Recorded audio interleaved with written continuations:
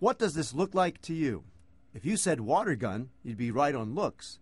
But if you're a police officer facing a criminal wielding this object, you just made a potentially fatal mistake. It's actually a shotgun.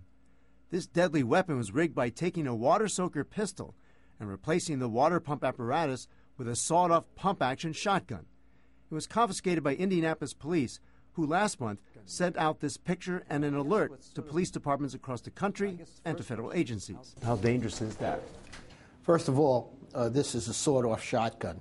Clearly, it poses a danger uh, to law enforcement as well as the public because these are the type of weapons that are used in commission of serious felony crimes. Pictures were recently declassified.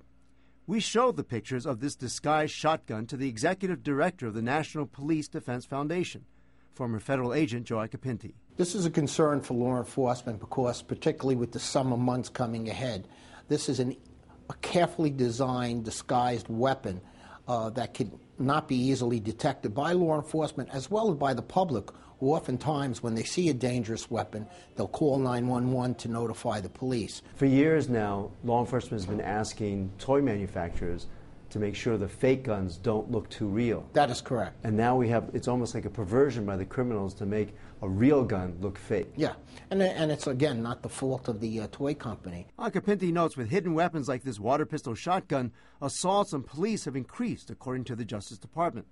So far, this weapon has not been seen in the metro area, but. My experience tells me if it was seized in one big city, chances are this is being adopted by, by other criminal organizations in other cities.